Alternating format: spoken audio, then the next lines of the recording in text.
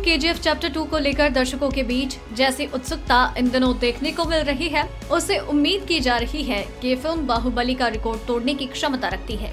हाल ही में rocking star यश की film का टीजर रिलीज़ हुआ था और ये अभी तक तेज़ी से वायरल हो रहा है। यश की के जी एफ़ टू के टीजर को यूट्यूब पर अभी तक 130 मिलियन से ज़्यादा व्यूज़ मिल चुके हैं। अब तो फैंस इस फ़िल्म की कहानी जानने का इंतज़ार कर रहे थे। उनके लिए एक अच्छी खबर है। इस फ़िल्म की कहानी लीक हो चुकी है। आइए आपको बताएँ, क्या होगी के जी एफ़ टू की कहानी?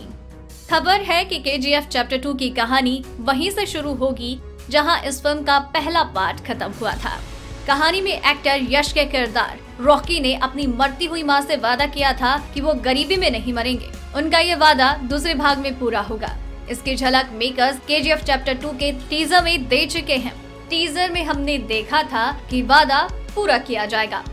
के चैप्टर में रॉकी गरीबों का मसीहा बन गया था और अब के चैप्टर टू में वो गरीबों की मदद भी करेगा। और फ़िल्म में उनका सामना संजय दत्त के किरदार अधीरा से होगा। दोनों के बीच कांटे की टक्कर देखने को मिलेगी। माना जा रहा है कि दोनों कोला गोल्ड माइंस में एक दूसरे से टकराएँगे। इसके साथ ही पॉलिटिशियन और गैंगस्टर्स के बीच होने वाले गोल्ड के व्यापार के बदले डायनामिक को भी दिखाया जाने वाला है।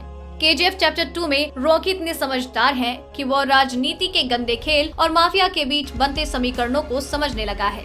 फ़िल्म के चैप्टर टू के लिए दर्शकों के बीच उत्सुकता का एक कारण संजय दत्त का किरदार अधीरा भी है।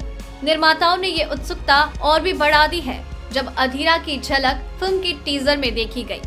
अधीरा सूर्यवर्धन का भाई है, जिसका सपना है कोलार गोल्ड माइन पर राज करना।